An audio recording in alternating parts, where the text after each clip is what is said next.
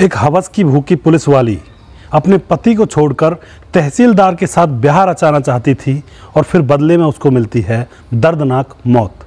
आखिर ऐसा क्या हुआ था? इस घटना के पीछे की सच्चाई को जानने के लिए आप हमारे वीडियो को अंत तक ज़रूर देखिएगा। नमस्कार, मैं हूँ सुदेश कुमार और तिरछी चैनल में आपका स्वागत है। दोस्तों, यह घटना है उत्तर प्रदेश के बिजनौर की। उत्तर प्रदेश के बिजनौर में एक रुचि सिंह नाम की एक लड़की रहा करती है, जिसकी उम्र है 22 साल अभी अभी जवान हुई है और वह चाहती है कि उसका कोई हमसफ़र हो, उसके साथ वह रातें रंगीन करे। दोस्तों, वह फेसबुक पर अपनी मनपसंद के लड़के ढूँढने में लगी हुई रहती है। तभी क्या होता है दोस्तों, उसकी मुलाकात 2017 में उसकी मुलाकात फेसबुक पर पद्मेश श्रीवास्तव से होती है, जिसकी उम्र होती है 36 साल। और दोस्तों, यहाँ पर रुचि भी अपनी हवस बुझाना चाहती है और पद्मेश श्रीवास्तव भी अपनी हवस बुझाने के लिए ही उससे बातचीत करता है, क्योंकि पद्मेश श्रीवास्तव की उम्र 36 साल है और उसकी शादी हो चुकी है और वह प्रतापगढ़ के तहसीलदार की ड्यूटी पर नियुक्त है। दोनों में दोस्ती बढ़ जाती है और दोस्ती धीरे धीरे दोस्ती धीरे धीरे प्यार का रूप लेने लगती है। हालाँकि प्यार यहाँ पर नहीं था, दोनों ही अपनी अपनी हवस को बुझाना चाहते थे। दोनों एक दूसरे से प्यार करने लगते हैं, एक दूसरे से छुप छुप के मिलने लगते हैं और ओयो रूम्स में, होटल्स में, स्पेशल स्पेशल होटल्स में रूम बुक करवा दिए जाते हैं मिलने के लिए। दोनों अपने जिस्म की हवस को मिटा रहे होते हैं। इसी तरह से मामला तीन साल तक चलता रहता है दोस्तों। उसके बाद क्या होता है? रुचि सिंह की शादी हो जाती है एक पुलिस कांस्टेबल से। अब वह पुलिस कांस्टेबल के घर दुल्हन बनकर जाती है और कुछ ही समय के बाद उसकी भी ड्यूटी पुलिस कांस्टेबल में लग जाती है। यानी कि वह भी पुलिस कांस्टेबल बन जाती है। समय अच्छे से गुजर रहा होता है, लेकिन रुचि को रह रहकर अपने पुराने प्रेमी जो तहसीलदार था, उसकी याद सता रही होती है। वह अपने नए पति से संतुष्ट नहीं है, उसके साथ नहीं रहना चाहती है, उसको तो सिर्फ़ और सिर्फ़ ख्यालों में भी वह तहसीलदार दिखाई देता है।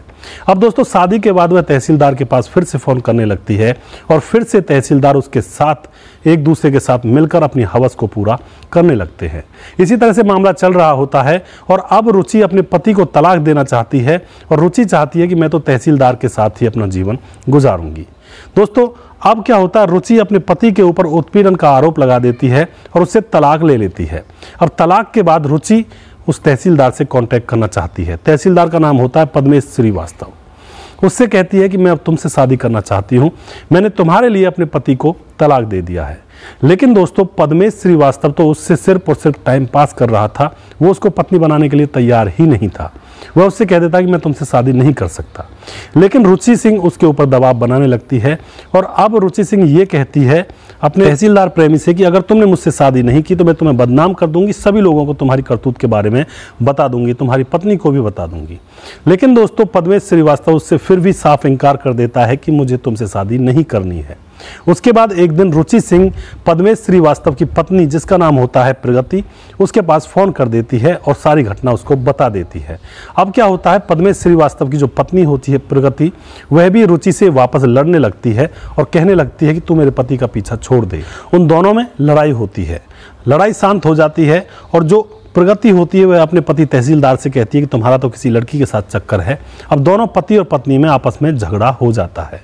लेकिन जो तहसीलदार होता है, पद्मेश श्रीवास्तव, वह कहता है कि मैं इस लड़की के साथ सिर्फ़ और सिर्फ़ टाइम पास कर रहा था और अब यह मेरे गले पड़ चुकी है। मैं इसको रास्ते से हटाना चाहता हूँ। मैं तुम्हारे अलावा किसी से शादी नहीं कर सकता हूँ, क्योंकि मैं तुमसे बहुत प्यार करता हूँ। दोस्तों, अब क्या होता है? उसकी पत्नी प्रगति एक प्लान बनाती है और कहती है अपने पति तहसीलदार से कि क्यों ना इसको रास्ते से हटा दो। उसके बाद हमें कोई दिक्कत नहीं होगी। वरना ये कल समाज में जाएगी, लोगों के सामने कहेगी और तुम्हारी और हमारी थूतू हो जाएगी, समाज के अंदर बेइज्जती हो जाएगी।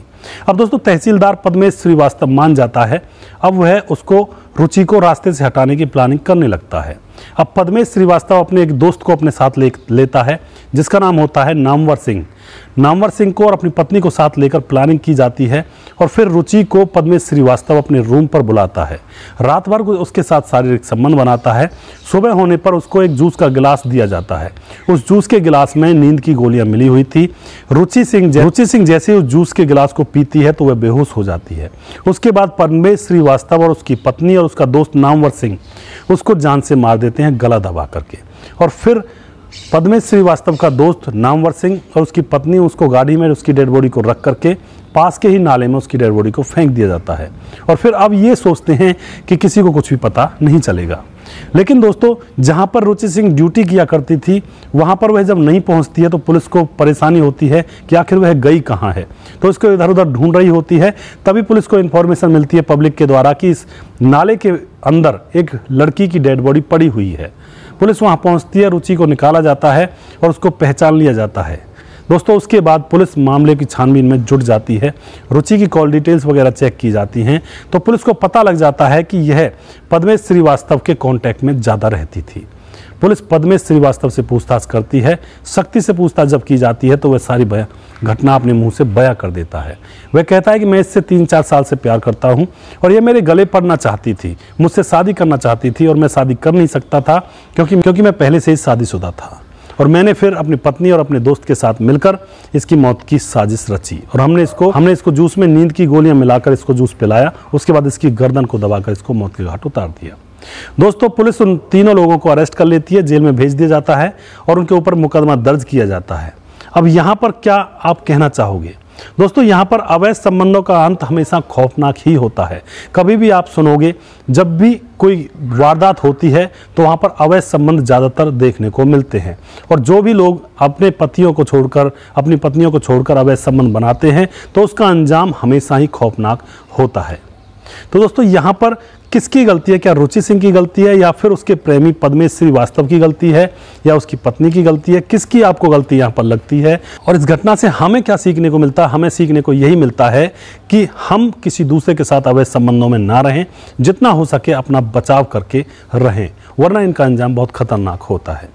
तो दोस्तों, आप अपनी राय कमेंट बॉक्स में लिख सकते हैं क्या रुचि के साथ जो हुआ, वह सही हुआ, क्योंकि उसने अपने पति को भी धोखा दे दिया और पहले से ही वो मौज मस्ती करना चाहती थी। या फिर पद्मेश श्रीवास्तव ने गलत किया, उसकी पत्नी ने भी गलत किया, क्योंकि पद्मेश श्रीवास्तव खुद खुद करेक्टरलेस था। तो आप अपनी राय, जो भी कुछ कहना चाहते हैं कमेंट बॉक्स में लिख सकते हैं। दोस्तों, अगर आप हमारे वीडियोज़ को पसंद करते हैं तो इनको शेयर ज़रूर कर दिया करें। यह हमारे ऊपर बहुत बड़ा आपका उपकार होगा और हमें आगे बढ़ने का मौका मिलेगा।